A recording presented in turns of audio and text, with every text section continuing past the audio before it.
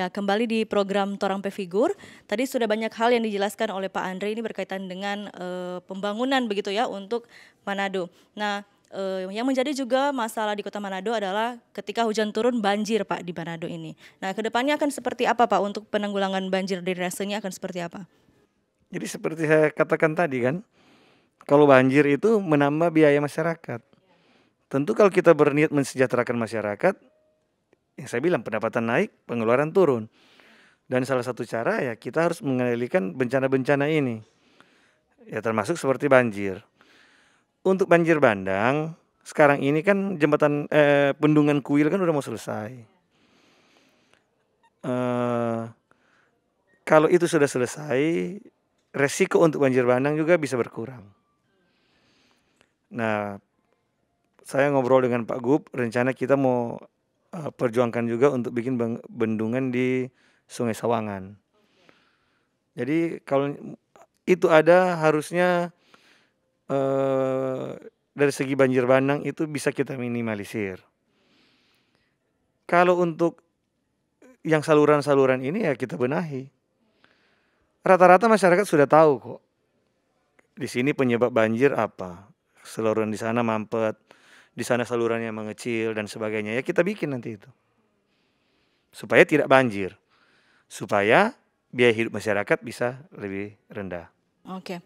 Nah, eh, dengan banjir ini kan sudah jadi masalah tiap tahun begitu ya, Pak.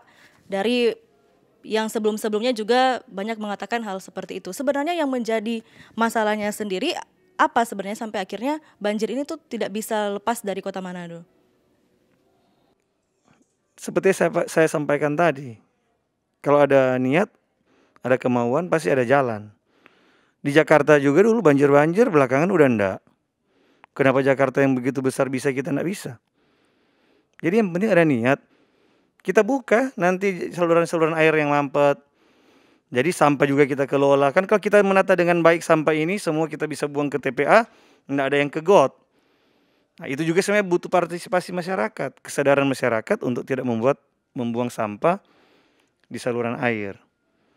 Tapi itu tadi, yang penting ada niat lah. Dan kebanyakan masyarakat juga sudah tahu penyebab banjir di sini karena got yang di sana e, mengecil. Seperti itu. Nanti kita bikin. Berarti akan ada pengaturan drainasenya begitu Pak? Iya, untuk supaya air ini lancar ya. Kalau dia macet, ya itu yang terjadi banjir. Kalau dari penglihatan Bapak ini kira-kira untuk pengaturan banjir ini sebenarnya hanya memerlukan beberapa waktu begitu Pak? Kalau kita serius, satu dua tahun selesai itu. Satu dua tahun. Jakarta coba lihat berapa lama? Nggak lama toh? Yang sebelumnya uh, sering banjir sering banjir, lalu udah nggak banjir. Karena kan yang penting kita tahu mana uh, hot buttonnya yang mana, tombol utama yang mana kita tahu, ya selesai dia. Oke. Nah, e, hal lain juga yang menjadi permasalahan di Kota Manado adalah lahan pekuburan, Pak. Nah, untuk lahan pekuburan di Kota Manado sendiri dikeluhkan banyak yang bilang e, sudah hampir full juga, Pak. Akan ada dibuka lahan pekuburan baru atau seperti apa? Jadi memang lahan pekuburan di Manado ini kritis. Bukan hampir full, sudah full. Sekarang sudah bersusun.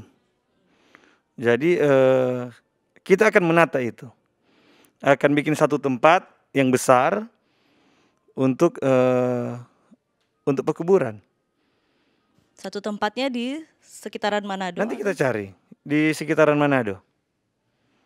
Bisa di Manado, bisa di luar Manado. Yang penting di sekitaran Manado. Oke, berarti akan ada lahan pekuburan baru begitu ya? Iya, nanti yang dan itu dikelola oleh uh, Pemkot dalam bentuk uh, perusahaan daerah atau BUMD. Nanti yang orang yang kurang mampu kita kasih gratis. Yang penting penataannya harus ikut aturan dari uh, dari Pemkot. Nah, salah satu hal yang juga kita tidak boleh lupakan adalah Manado ini sudah dikenal di luar adalah sebagai kota pariwisata. Nah, eh, sudah banyak hal juga yang dilakukan oleh pemerintah ini untuk membuat supaya Manado ini terus eh, ada namanya begitu ya di nasional. Kalau dari Pak Andres sendiri melihatnya akan seperti apa nantinya untuk pariwisata di Kota Manado?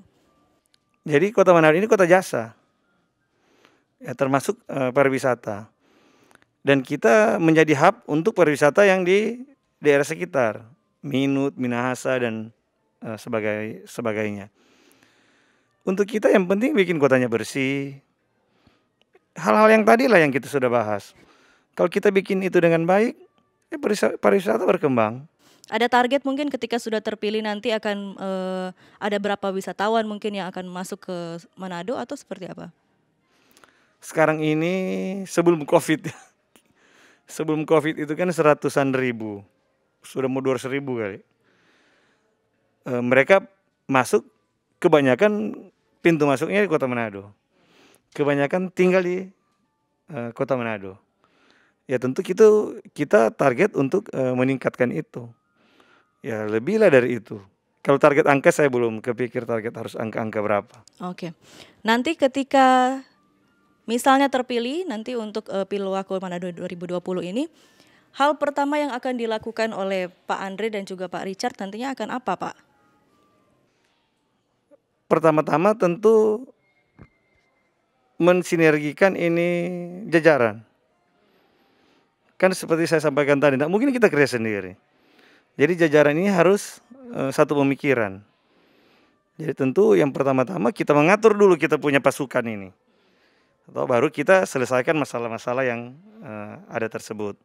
Di program kita kita ada anggaran nanti setiap tahun 200 juta minimal per lingkungan untuk pembangunan.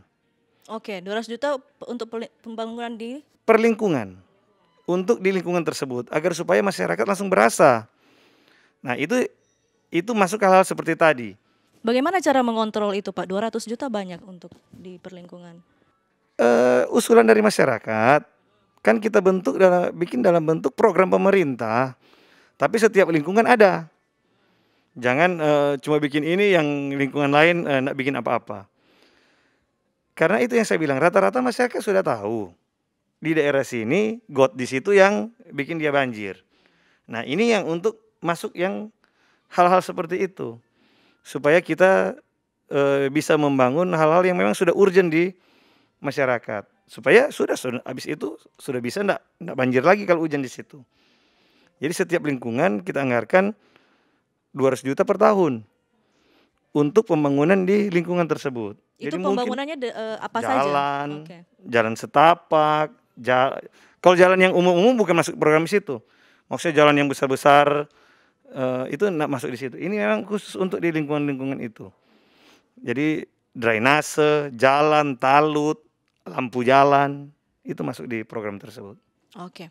Nah, uh, selain dari program-program ini bor air bersih juga termasuk. Oke. Ah ya, air bersih juga menjadi salah satu masalah begitu ya di Kota Manado dan kita akan bahas selain satu ini tetap di Torang Pefigur.